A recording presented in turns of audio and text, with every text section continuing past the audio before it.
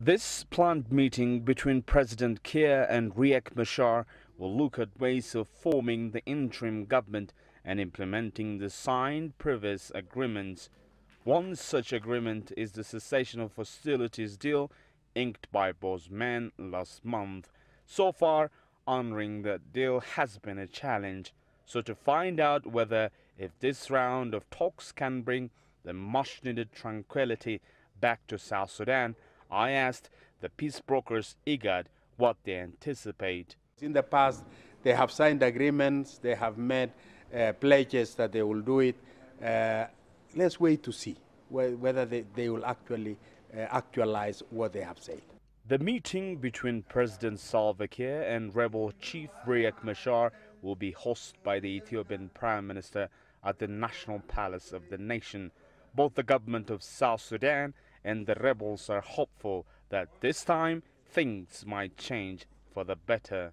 The two principals are actually coming in order to, to boost the, the process so that the parties continue to talk and negotiate in good faith so that they expedite the process in order to reach a final and lasting agreement that will bring peace to our people in South Sudan.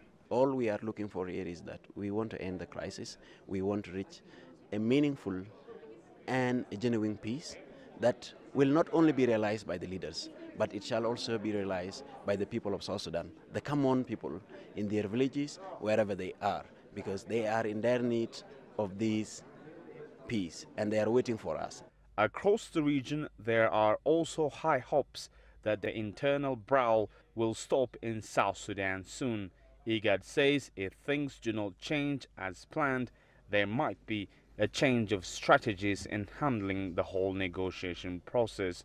We're looking for better strategies, we are looking for ways forward, but we cannot discuss those issues now uh, on the media, but we, they are being worked out by our, our heads of state, they are being worked out by our Council of Ministers. These are being worked out, and I hope in the, not in the distant future. Still, in the world's newest nation, there are reports of intense fightings one accusing the other for the happenings. The Eastern Africa region's heads of state are also expected to hold a summit here in Addis Ababa in a very near future to discuss ways of finding a lasting peace in South Sudan.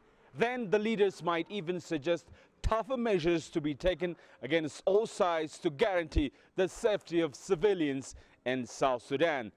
Girum Chala CCTV, Addis Ababa. Etiópia.